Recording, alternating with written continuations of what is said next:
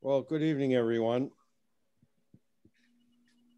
I'm Dennis Reardon, president of Menunkatuck Audubon Society. Welcome to this evening's meeting. I want to start with an acknowledgement that Menunkatuck chapter area is on the land native to Paugussett, Wepawaug, Quinnipiac, Totoket, Menunkatuck, and Hammonasset people. And we honor them for their contributions through thousands of years before European colonization. Our next Zoom meeting will be a week from this evening with Audubon, Connecticut's Director of Bird Conservation, Corrie Folsom O'Keefe. She'll be sharing her knowledge about our beach nesting birds and tips for visiting the beach during the summer without causing unnecessary disturbance to the birds. Let's share the shore. This presentation is being recorded. And I'd like to welcome uh, Sue Schubel. Sue is with Audubon Seabird Institute in Maine. Known as Seabird Sue, she works on Maine's offshore islands with puffins, murres, guillemots, and other nesting seabirds.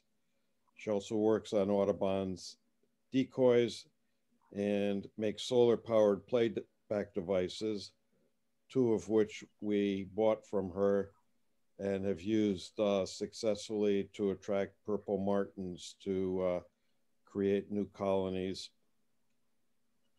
Among visitors to Hog Island's Audubon's Hog Island camps, Sue is perhaps best known for her puffing cream puffs. And with that, I'll welcome Sue. Uh, you can share your screen. Okay, thank you. And uh, if everyone else would mute yourselves, thank you.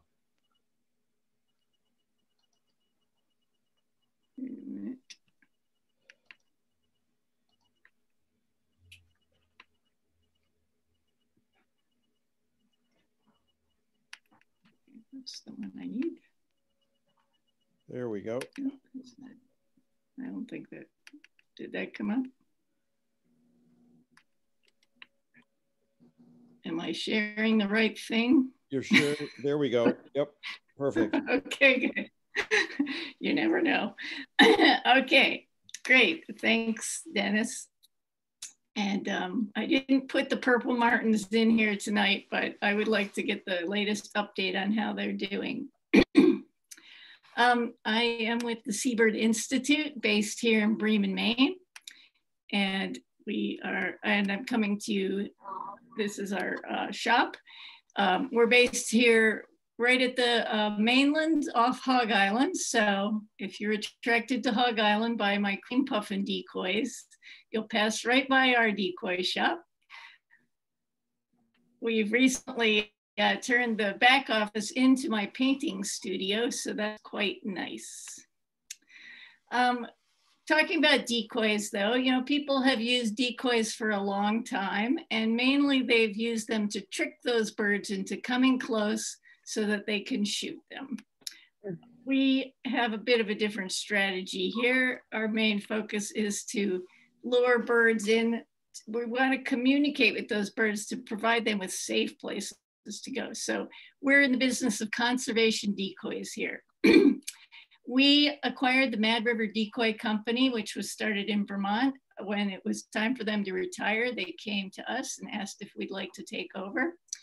They started that in 1990 and got a lot of business.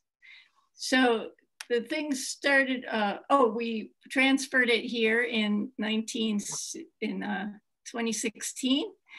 And in the winter, we drove through a snowstorm with a horse trailer full of gear and set it up in our barn. Here's some folks working in that shop. So I wanted to take you through the process of how these decoys are made. Um, we actually haven't made any molds ourselves yet. We're just using molds still from Jim and Nancy Henry. It's a pretty complicated process and we have enough molds to keep us going for now. But you start with a wooden master, the exact size of the decoy that you want. it was hand, uh, Jim hand carved these, covered them with mold release, and then he would make a two piece mold on each one out of high temperature epoxy. This is a close up of the little puffin decoy mold that we have. Uh, you can't really tell if you took those springs off, the thing splits in half, the mold splits in half so that each side of the bird is exactly the same. When you're making a mold like this, uh, you don't want to have very many, well, you really want no undercuts. So it has to be kind of a smooth, simple shaped bird. Uh, the decoy molds get attached to this mandrel. You can see it in the right hand picture. It's a piece of metal, and so you can balance out the load. That whole mandrel is going to turn in multiple directions. These decoys are rotomolded plastic, so they need to keep turning as the oven is heated. The left side, you can see the picture of our oven.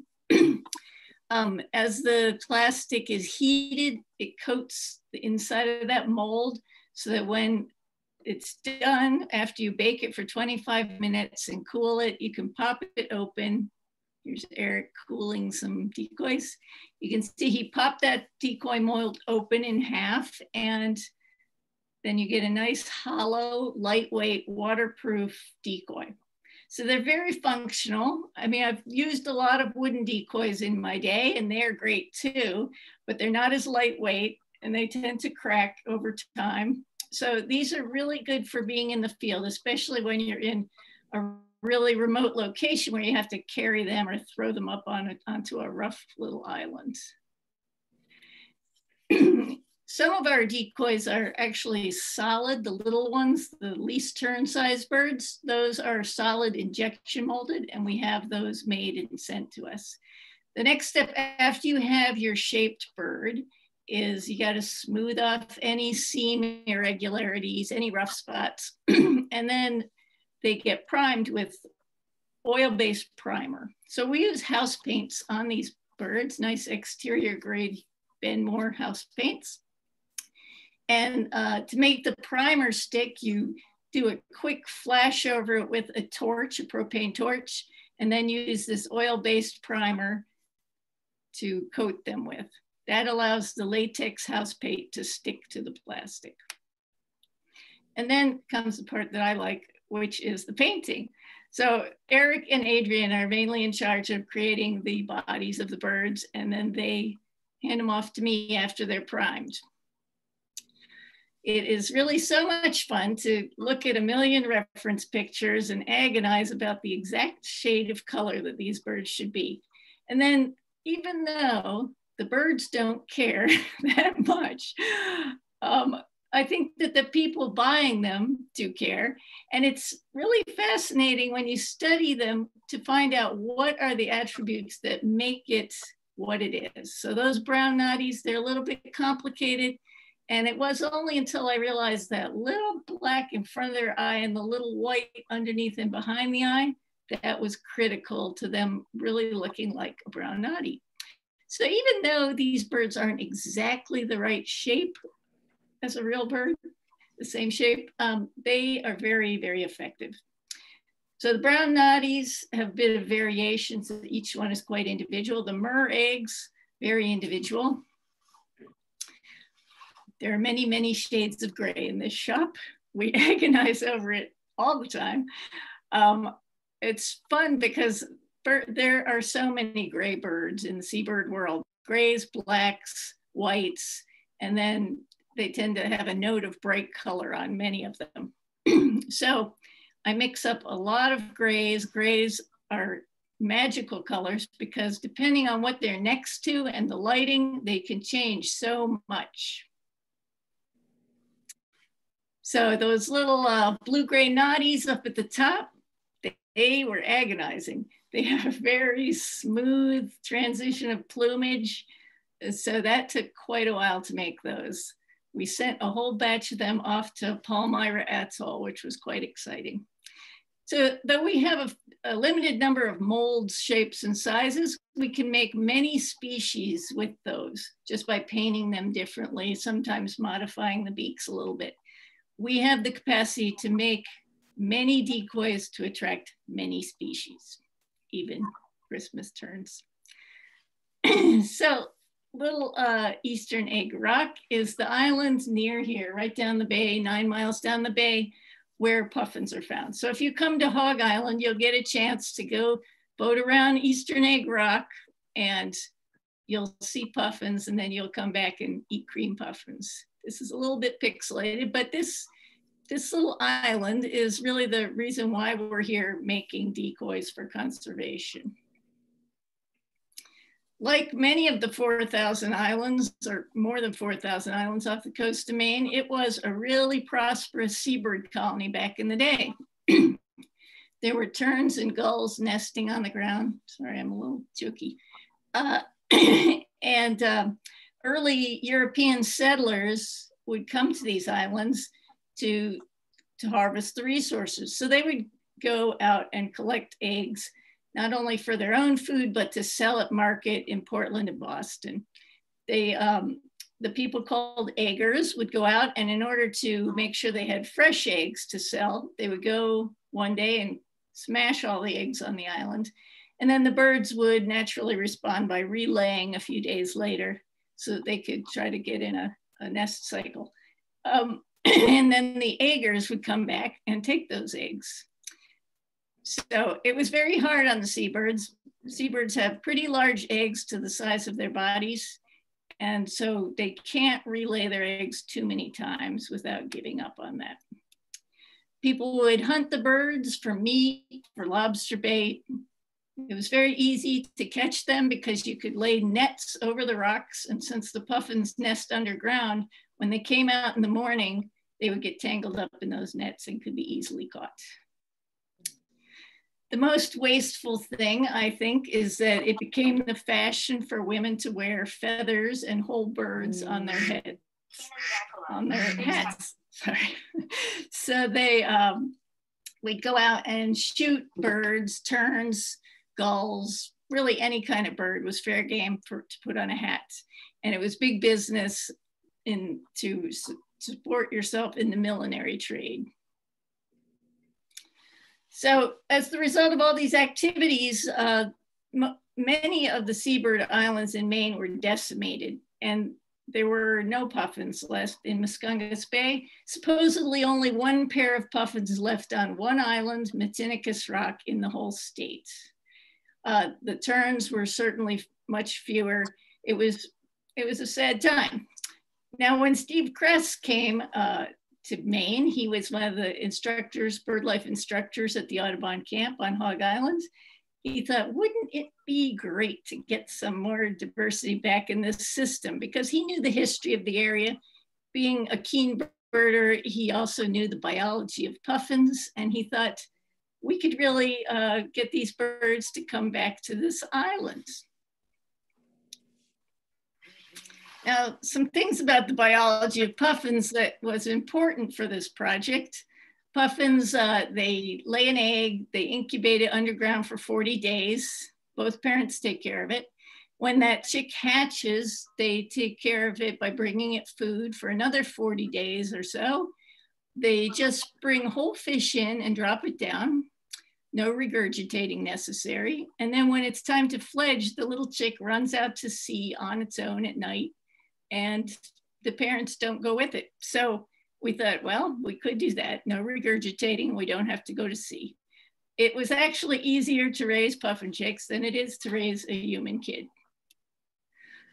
In the winter, off they go to sea. The little puffin chicks leave before the adults. So they're out there. We don't really know if they meet up with the adults later or not but everybody spends the winter at sea. The next spring, the adults will come back because they're in the at the age to nest still. Uh, but the chicks don't need to come back until they're four or five. That's when they're old enough to lay an egg. They could come back when they're two or three just to visit. Occasionally, you'll see a one year old. Puffins are really social. So Steve had this plan that he could get some puffin chicks from Newfoundland, not too young because they need to be at least three days old to keep themselves warm and not too old because you don't want them learning that Canada is their homeland. Puffins are really tightly tied to their natal site. So they almost always come back to the island that they fledged from. So he got 10 day old chicks and they were raised up on Eastern Egg Rock. they fledged. It was pretty easy to raise them to fledging. And then began the long wait. Now, if you were a puffin who loves a crowd, who nests with dozens or hundreds or thousands or even a million other puffins, it would be a little bleak to come back to Eastern Egg Rock and see no puffins there. Colonial seabirds really are, they benefit from being colonial. So they are really in this chaotic, loud, noisy, colorful environment full of birds. All those eyes looking out for predators, all those beaks really ready to help defend each other and all those wings soaring over the wide sea so that they can find that patchy prey that might be near the island or it might not be. So being in a seabird colony certainly has advantages. Since we didn't have any puffins on Egg Rock at the time those little pufflings were ready to come back, he thought, well, we better make some. So the first decoys were carved out of wood and they were set out on the rocks. And, you know, a puffin is not too dumb. It probably knew that was not a real bird, but it liked it. It looked like a puffin, it's very attractive. And it was a way to communicate with that bird that the same thing that a real puffin would have communicated, which is this island is safe. You might find a mate here. There's food nearby. So the puffins came, a couple of puffins came, after they played with the decoy, they saw other live puffins and they set up shop. Luckily, uh, when they were doing this experiment, they also wanted to attract terns. Puffins are hidden underground, so they're relatively safe when they're nesting, but they can be eaten, swallowed whole by a large gull. So Steve's theory was that if he also convinced terns to nest here, terns which nest on the open ground and are very aggressive about defending territory, they could chase away some of the predators. So he encouraged terns to nest here. And you can see he used some very simple looking decoys. Obviously, that doesn't look exactly like an Arctic tern, but close enough. So uh, this bird must have been keying in on basic color, basic shape, a little pointy beak. We have since uh, seen a tropic bird at Seal Island who was attracted to a lobster buoy with a little red stick at the back that looked like a red tail. So using really simplified decoys and some other decoys, you can see this one was particularly attractive because that bird is offering it a courtship fish. Um, a tern colony formed on this island also. Now we couldn't translocate tern chicks because the tern biology is different. Terns do raise their young and spend a lot of time with them. They don't regurgitate. We could have fed the chicks, but we could not migrate to Antarctica with them come fall.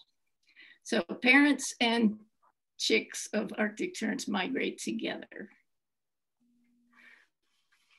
so in that, uh, in creating this social attraction technique that Steve did, he, uh, you know, as time progressed, he thought about more ways to enhance it. So we had decoys, and then what's the next thing that's in a big seabird colony? You got the color, you got the movement.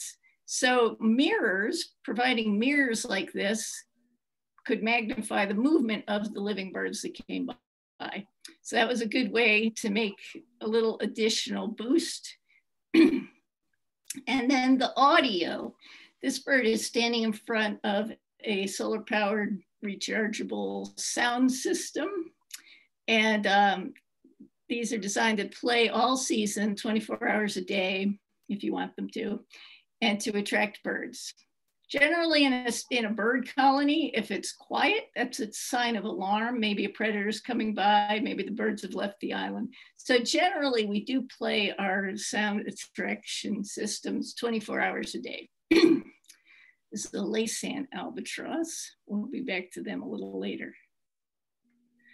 So the sound systems, I've made a lot of these uh, and they consist of a box that's big enough to fit either two batteries or a pug and usually some a charge controller for the solar panel. And nowadays an mp3 player we used to use um, cd players. Uh, we put that on repeat play. There's an amplifier all the various cords and adapters you need and then the solar is the uh, important thing to keep it running. So we usually use two, either two 12 volt or two six volt batteries, unless you're right at the equator when you can get by with less, if you're in a very tropical sunny place. But we size the solar and the battery bank to the location and also set the angle of the solar panels specifically to wherever you happen to be. So we've created this whole system, the whole system of tools and uh, technique. And these are used for conservation. And within the conservation world, we mostly are in these categories. Restoration, in which we're returning birds to sites where they used to nest and for some reason they don't nest there anymore relocation, which is if you want the birds to move somewhere else. Maybe there's some industry coming in, or maybe their new their site is in at risk. There's been an oil spill or something. Comfort and confidence, which is if uh, you're hand rearing some birds, or maybe they're in rehab and they just need a friend, and uh, research. So they can be used to help catch birds for doing a scientific study. And this map shows the locations of social attraction projects, seabird restoration projects uh, as of 2012. So it's increased since then. At that point, I think there were 140, now there are 171 projects at least in 15 countries. So it's quite widespread. And I'll, I'll tell you about a few of them. Uh, so this is Devil Slide Rock, California. These murre decoys were sent out there. I worked on this project actually. And the island, this is a restoration. So because um, there was an oil spill and there was also a lot of gill netting and basically the whole colony was eliminated but it hadn't been eliminated long. It was within the possible living memory of some murres. So it was 10 years of absence. But luckily there was funding to go in and try to mitigate this, these problems before the, all those birds died off. I mean, potentially there were birds that had bred there and just been scared away by the poor conditions, but would potentially breed again if we communicated to them that it was a safe place. Yeah, there's a picture of Devil's Slide Rock. You can see the landings are beautiful. Uh, it was a pretty treacherous place to get onto and a place where if you had wooden decoys, it would have been even harder to get everything ashore because the plastic ones were nice and light. We have mirror boxes up there, which were immediately covered in guano. So they didn't really provide a lot of reflection, but they did provide nice little shelters. And murres tend to like to belly up to kind of a, a little um, protective ledge. So we went out there in 96, climbed up on that rock with climbing ropes, lugged all those things up there you can see that uh, there was a picture from 1979 where that rock was covered with murres. All those little specks are murres.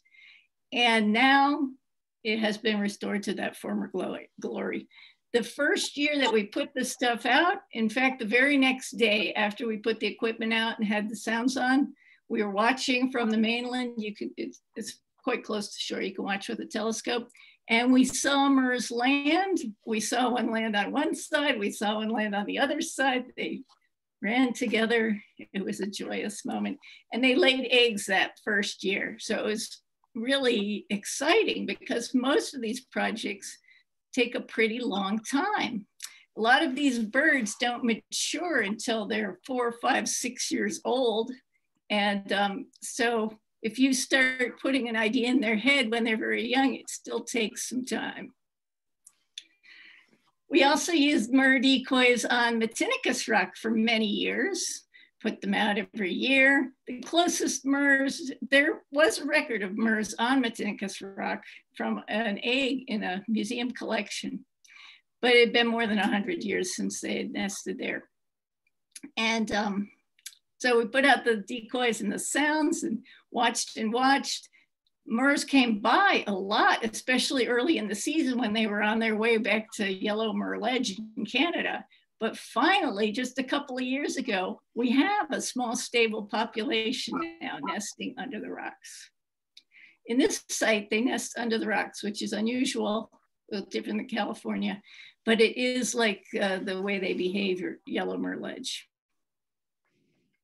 Seal Island. So uh, these bridle terns and brown noddies, we made these in our shop and off they flew to Desecheo Island off Puerto Rico. This is a restored island, meaning they had to go in and take out all the introduced um, predators that were there. There were rats and goats, and it took quite a lot of time to restore that to a safe place. But now there are a number of groups working out there. Island Conservation, US Fish, it's a um, national park. So all these groups have come together and they are encouraging the breeding of the bridle terns, the brown noddies, and the Audubon shearwaters. You can see the habitat here. Uh, these decoys, we had to, they glued them down to the rocks. Unfortunately, a big storm took most of them out the first year, but they got another batch. And actually, there was, I think, just one decoy left, and yet it still attracted terns right to it. They nested right next to it. So they have a new set of decoys, and they seem to be really doing well. Um, there was a sound system for the for the bridle terns, and then one up in the hills for the Audubon shearwaters, which of course are nocturnal procellariids. And so there wasn't a lot of point of making decoys for them, although we're in discussion with different groups now, wondering if it, on nights when there is a bit of moon, if it would be worthwhile to do some shearwaters. For nocturnal birds like those and storm petrels, sometimes there's been experimentation providing scent because those birds are quite motivated by scent. To, that's the way they find their burrows. And so if you, you can provide scent from some storm petrels, that could also be attractive. Here are some Chinese crested terns and some greater crested terns. This was one of our early big projects. Um, the Chinese crested tern is highly endangered. They were down to just like 20 individuals that were known about. At, prior to that, uh, they were thought to be extinct. So this was very exciting one. Just a handful were found off the coast of China. These decoys and sound systems went to uh, Island. I can't remember that. Um, and and it was quite amazing that um, they had decoys for the greater crested and the Chinese crested terns. They tend to nest together in big flocks and both species were attracted to this island. In China still, there seems to be a problem with illegal egg harvesting, which was what really wiped them out. They had not nested on Taedundao Island before, but they had nested on an island nearby that. So the group that was on the the other island where there was the illegal egg harvesting moved over to this island and um, they were successful. In the first year, they had one fledging, they had 19 adults, which was more than had been seen before. And then the year after that, 43 adults. and uh, the numbers keep going up. Now there's some concern that they, I mean, the benefit of luring them into a place was so that they could really find a mate when there were so few mates around. Uh, now they're a little bit worried that they're grouping them up, all the eggs in one basket, so to speak. And they would like it if they were at least in a couple of locations, if those locations can be effectively protected. We sent uh, most of our decoys to South Korea, where there's another island chain where some birds have been seen. Here's some common terns. We make a lot of common terns. So the mold that we have for common terns is kind of the mid-sized tern mold that we use for a lot of our terns. But uh, to make the common terns, well, these need their black beak tips and their shiny eyes, but they were almost ready to go. And then we had uh, some least terns, a lot of least terns too. Uh, with the least terns, you can make black terns, blue-gray noddies, any kind of small tern. Least terns all over, you know, they struggle. They nest on mainland beaches where they're susceptible to human traffic, pets, mammals, owls, you know, everything will eat a least tern. Cars drive on them. They're very uh, nestled right into the sand, so they're very vulnerable. We've used least tern decoys to lure these birds to Stratton Island, which is an island we manage in southern Maine thinking that they would be more protected from at least the mainland predators out there. So uh, we've also sent least tern decoys to California, Southern and Northern California, Florida, Louisiana, Mississippi. There, there are a lot of projects for least terns.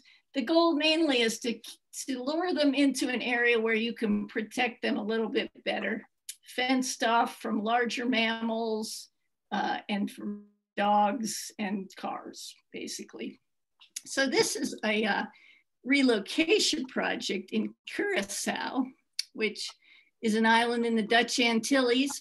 And uh, I don't think they, well, yeah, the decoys are in there. So this project just came about. There's going to be a wind power project put on Curacao right on the beach where the birds usually nest. So based on the whim of people, these birds have to move. But by assisting them to help them find a new spot where they'll have a little bit of advantage from predator-proof fencing, uh, these guys did set up sound system and decoys. They were complicated a bit because the, the equipment arrived to them like the day after they were shut down for COVID and not allowed to leave their houses. so they were uh, they got slowed down a bit, but then somehow they got permission to get out there. And hopefully these birds will move to this location because they are going to build this wind farm. Oh, they're so cute. so double crested cormorants. Um, we have sent a number of cormorant decoys around for educational purposes. Back when Mad River Decoy was in Vermont, they sent a lot of them to the Columbia River estuary, which is an area, a large estuary. The Columbia River comes into it. This is a place with a lot of dispute between birds and people. People dredge that river so that the ships can come in and out. They make these dredge spoil islands that are perfect for birds. The largest double-crested cormorant colonies are there. The largest Caspian tern colonies are there. They have all these dams on the river. They have all these salmon fry that they're moving around the dams and putting in the estuary, which the birds think is great because it's perfect food for them. So there's a, lot of conflict between the humans. There are a lot of Native American tribes that rely on that fish. And then of course the birds are pretty happy. It's, it was found through studies uh, at OSU that the birds further down the estuary toward the sea had a more diverse diet than the birds further up the river. So the goal was to try to shift some of those birds from the islands higher up down to the mouth of the estuary where they could eat a more diverse diet. And fewer of those salmon fry. Ah, on to the Laysan albatross. Now there's a bird who knows how to party. Um, so obviously these decoys are to attract the birds and the Laysan albatrosses, we've sent a number of those to Hawaii. There's a project on Molokai where they've protected a section. Uh, it's a relatively small island and there's a large land trust there.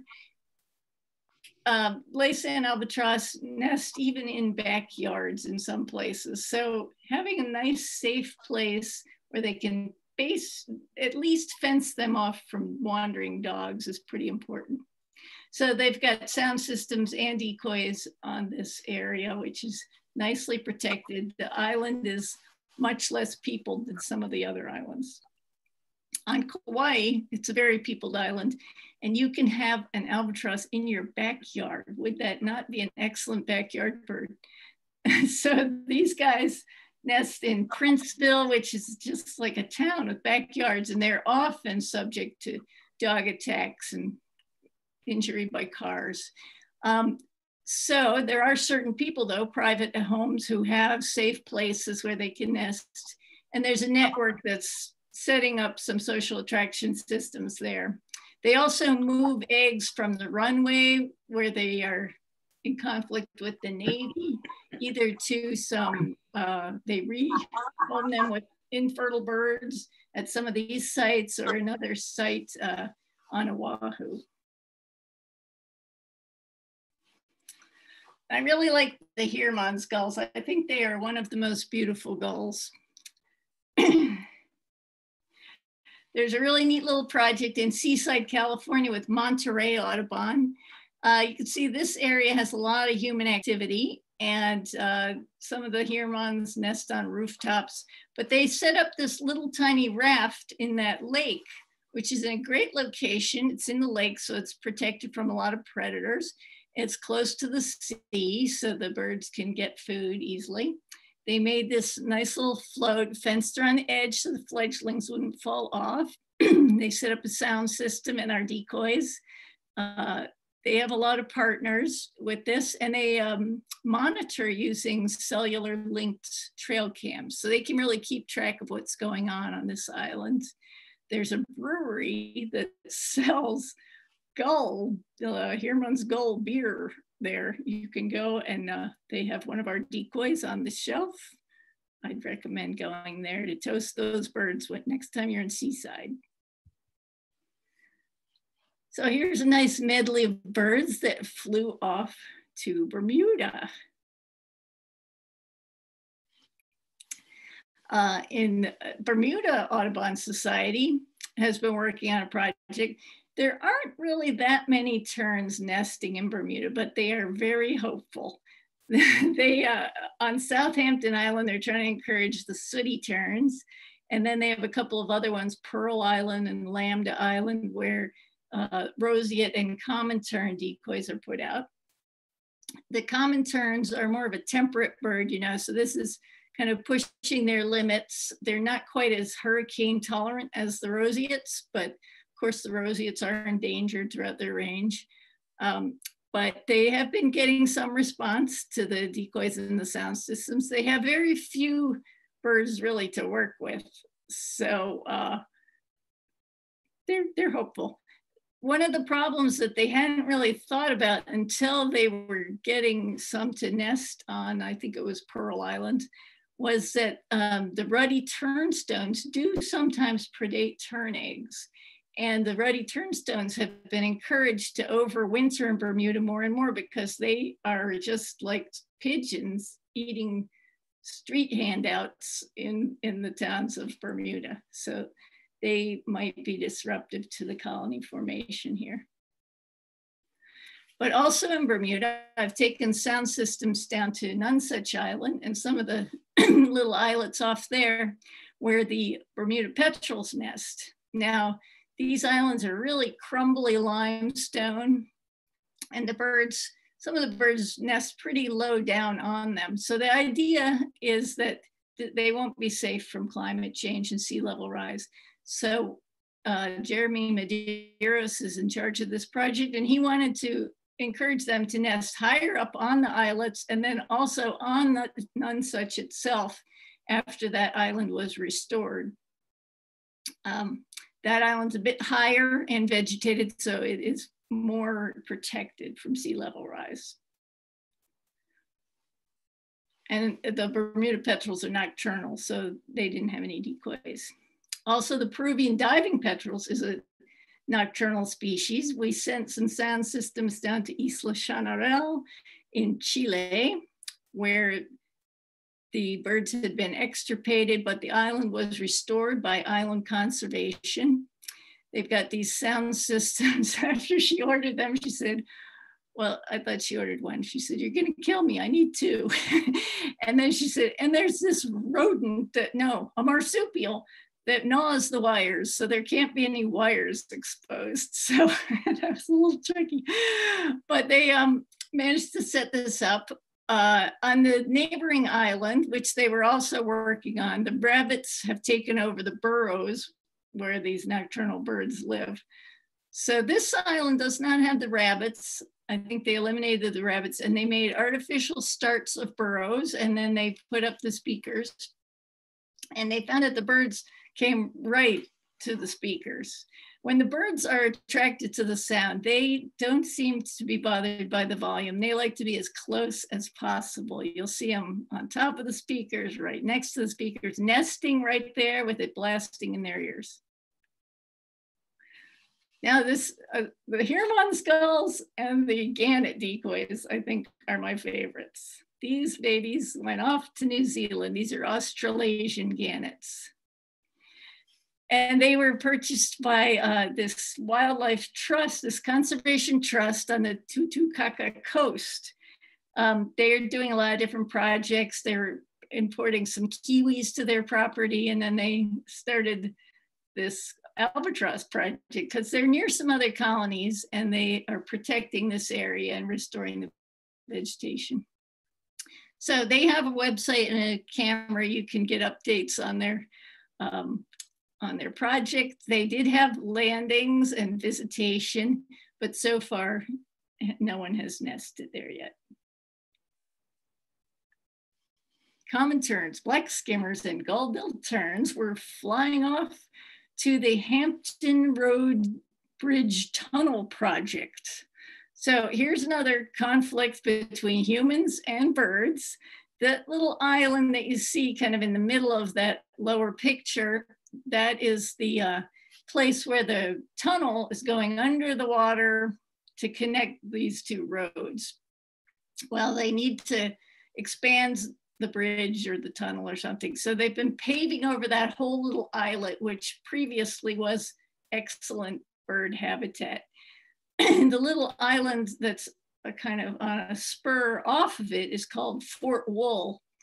And um, they were able to get permission to try to enhance the habitat on Fort Wool so that the birds that normally had nested on this bridge road tunnel thing uh, could move over there. Since the Fort Wool Island is smaller, they also brought in um, barges to act as nesting rafts. Now, part of the thing was they were trying to make this habitat as appealing as possible, but birds are a little habitual. So they knew that those birds would try to nest on that island that was getting paved over. So they had this pup patrol. These dogs would run around and dissuade the birds from the place they wanted them to move from. And then the sounds and the decoys would pull them over and help them stick to the Fort Wool area. And the birds really did move over there. That was just this summer's project, or last summer, last summer's project. Uh, it was COVID summer number one, and there, so there was a lot of complications with logistics, but they did manage to get the equipment in place just in time, and they had the dogs out there. One of the dogs was pregnant and she gave birth on the job, but they were champs. Now, this is a, another cool project with common Terns. Common Terns get a lot of action in uh, Switzerland, there's very little habitat left for nesting birds. And so a lot of them nests on rooftops of near buildings near lakes. You can see that green rooftop that's, that's the top of a boathouse where they've planted natural vegetation and put in sound systems and decoys and the terns nest right on that. Oh, let's see, what, how are we doing for time? We got a little time. Um, common terns we also sent to the Netherlands. See, see, we have quite worldwide reach with these decoys. And I wanted to show you this little video if it will work. This is a habitat that they were constructing in the Netherlands, a very watery country for the common terns there.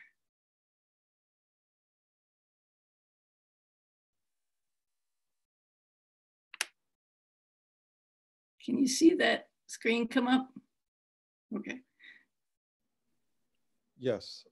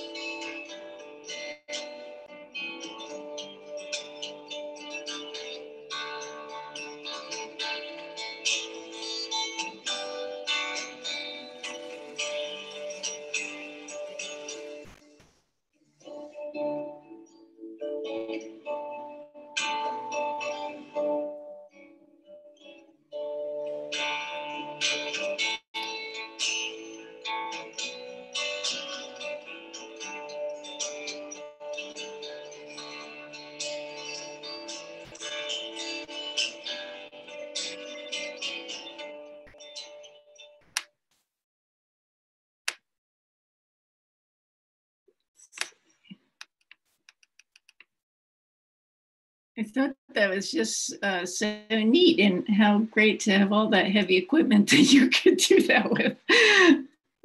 Sadly, they didn't at that point, so they didn't make the movie, but um, hopefully they were successful. Black-footed albatross. Now, this is a bird that uh, has been used for attraction to certain to safe sites, but also it's been used as a comfort and confidence decoy.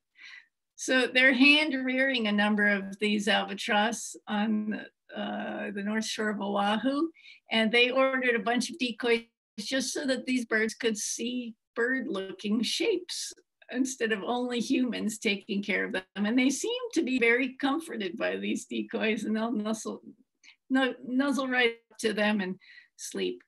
So that's kind of sweet. A project that we're doing in Maine, which I consider kind of a research project, is about laughing gulls. Now, laughing gulls are often in conflict with terns. They're really spreading up the coast.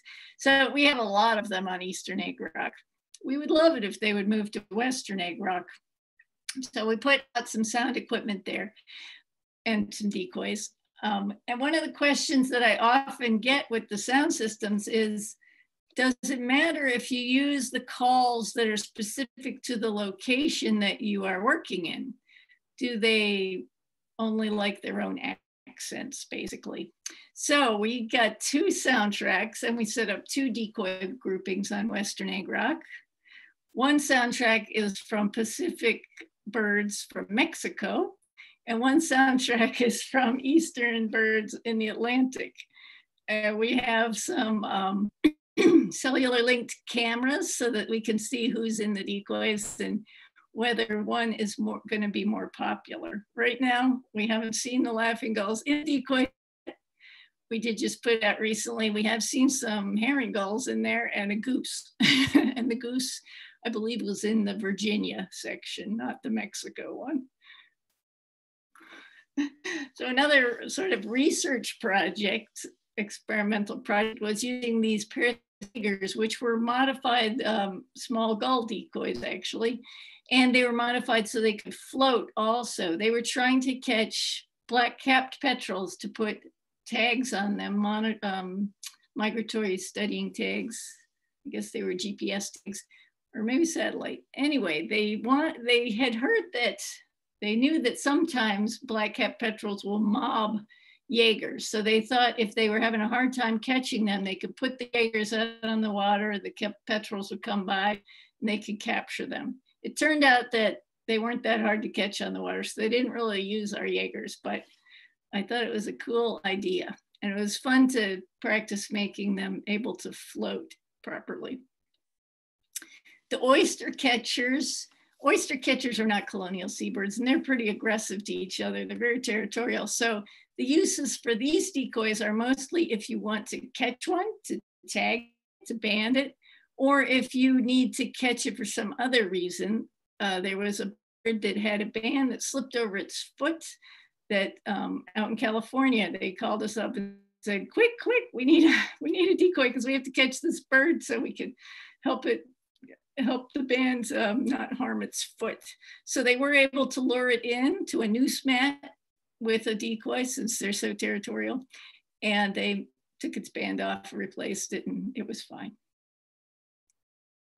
So from here in the chaos of this little faux seabird colony, we're producing lots of decoys, hopefully making a difference for birds in the world. Uh, seabirds are the most endangered group of birds and they nest on tiny little islands that are susceptible to all sorts of problems. Um, so we're just doing the best we can to try to make a difference there. And uh, I would be happy to answer any questions if anyone has any. If you have a question, uh, please by all means uh, unmute yourself and uh, ask.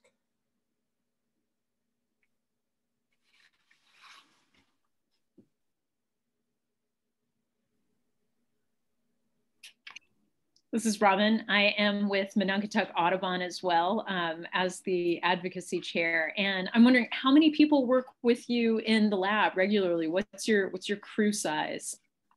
Uh, well, in the summer for research on the islands, this year we have about 20 going out and it's a little reduced from regular because it's a, our second COVID summer.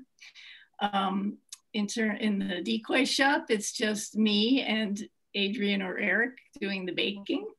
Uh, occasionally, we have we have had some volunteers help during some of the steps. Uh, we have a one week on Hog Island called Coastal Bird Conservation. It's a work and learn session. It used to be through Road Scholar, but now it's just through Hog Island. and so if you come to that session, you do have a chance to help work on decoys. Um, and uh, I think we have 10 full-time staff now at the Seabird Institute and many of them are coming to be based in Maine. We still have a few outliers that are migrants. That's awesome. And do you all ever get to deliver personally the birds to some of the um, international locations that you've featured? I always offer. I, have I, have taken uh, the sound systems uh, a few times when people wanted me to help them install them.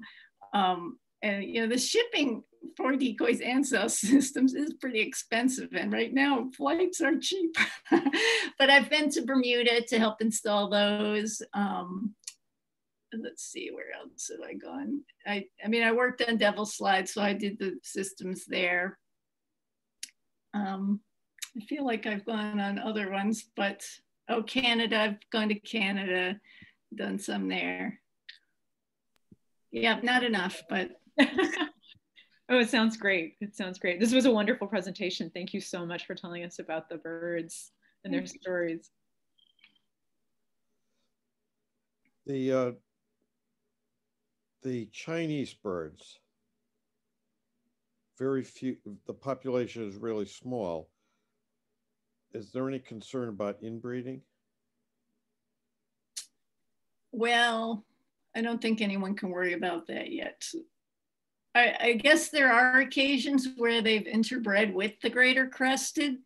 Um, but, you know, I think they're just trying to build up the numbers, at least help the birds find one another.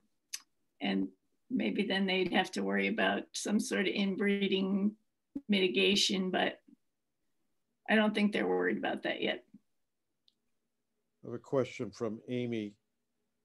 Is your shop unique or are there others in the world like yours? Uh, we um, are the only ones offering this recycled polyethylene plastic decoys. There's actually a guy not far away from here who does make wood conservation decoys, which are quite beautiful. So there, we have competition, but not exact competition. And uh, do you ever need to make a new mold? Yeah, now they do deteriorate over time. It's this multiple layers of high temperature epoxy.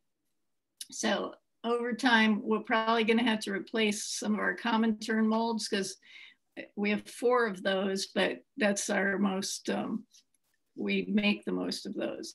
Um, and then we wanted to, it was a goal actually this year, but it might be not till next year, to make a new species in our lineup. So I was going to carve, we were thinking a red-footed booby might be the one to carve because uh, there is a project in Palmyra who might need some red-footed boobies. So to make the investment of making a new mold, it has to be something that would be in demand to some extent. So it seems like red-footed boobies might be the one. Uh, Jeffrey asks, how many tries does it take to get a decoy to work? on the island? Uh, well, sometimes it takes years and sometimes it happens very quickly. It does seem in most cases that you need the decoys and the sound. You need to have proper habitat. Uh, you need to have food nearby, so intact habitat. And you need to have sound and the visual stimulation so they can hear it, they come by, they see the decoys, they stick. Uh, but sometimes it takes years and years. You got to be very patient. Uh, the decoys are for sale, are they not? Yes. And if one wants Would you like one? a decoy of a northern gannet, let's say, how would one go about? Yes. uh, a few of them are available right in our online store. And in fact, you can order a paint your own decoy kit if you'd like a least tern size decoy that you want to paint in any species. Just tell us which species will provide you with the proper paint. um, and then if you want, if you're really doing a conservation project, so you'd want a number of decoys, uh, you get in touch through the store, but we give you a quote for the specific uh, amount because um, there's a price drop if you get a certain number of them. So I do have a, I do have one of the gannets, the Australasian gannets. How cute is that? They're pretty expensive, but they are quite big, rugged. Sometimes people buy these for their kids to play on, like kind of a little rocking horse kind of thing. So you can get in touch through our website if you're interested in any decoys or sound equipment or mirror boxes. The mirror boxes we also produce here and they um, come apart. They're three-sided mirror boxes, very effective with terns especially.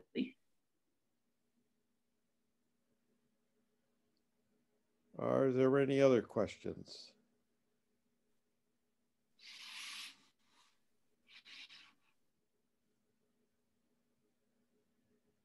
All right, thank you, Sue. That was uh, fantastic. Um, okay. And, uh, encourage everybody this summer to uh, take a trip up to Maine and uh, visit the shop. And uh, Hog Island is offering day trips this year, I believe. Yeah, so. actually, our shop is probably going to be closed until the fall. But Hog Island has day trips yeah. and sessions at half capacity to follow COVID guidelines. And you can take a puffin boat trip um, on some of the commercial boats also and see Eastern Egg Rock. Now, when, when the puffin mm. population is such that people can walk around the puffin colony, then you'll have it made. they would love that. walking in a puffin colony. Yeah, it's true. So thank you again, and uh, uh, maybe you'll see some of our uh, our uh, attendees tonight during the summer up in Maine. nice, very good. And uh, as a reminder, next Wednesday we've got um, Corrie Folsom O'Keefe uh, with Share the Shore. So thanks everyone, and uh, stay safe. Get vaccinated. Take care. Yes. Thank you. Sue, I will see you later this summer. Excellent. I'm going to be up there